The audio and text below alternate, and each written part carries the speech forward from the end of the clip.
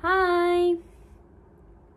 えー、っと、自分の生きがいは何なんだろう？自分の人生これからどうしよう？自分は何で生まれてきたんだろう？将来何をすればいいんだろう？って考えてる人たちに、このビデオを作ってみました。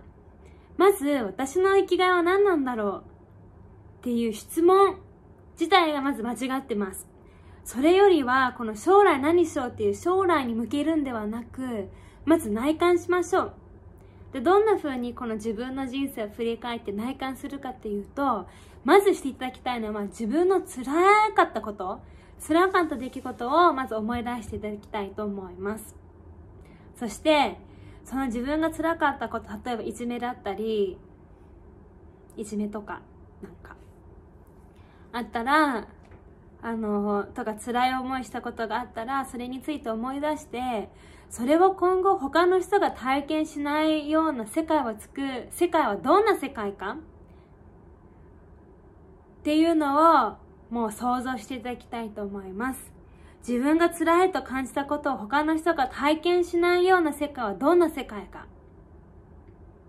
そして、その世界を作るにはどんなことが、どんなアクションがあるべきか、どんなことができるか。この時に考えていきたい、まあ、一番のポイントっていうのが自分の好きなことをししてどうその世界を作るのに貢献できるかっていうのを考えるのに考えることが一番大切ですなぜかっていうと自分の好きなことっていうのはまず生き生きしたことで絶対こう自然にモチベーションが上がるので本当にやってよかったと思うし好きなのでもう時間がすぐ過ぎる感じ。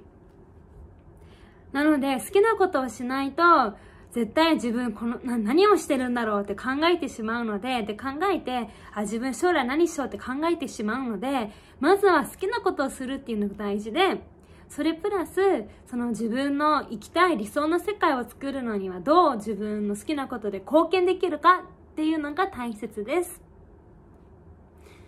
Yeah. うん。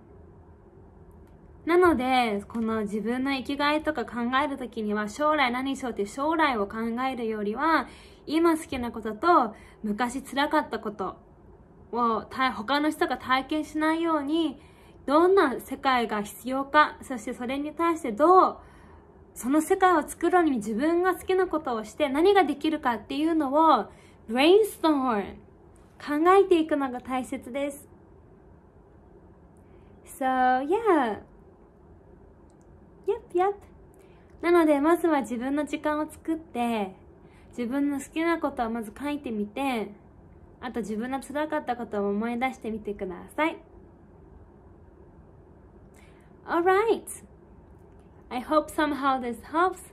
これが、あの、なんか助かると、助かるっていう言葉好きじゃないけれど、なんかサポートなるといいと思います。I love you. I really do. Sending great love. I hope you have a beautiful day. 愛をたくさん送ります。See you!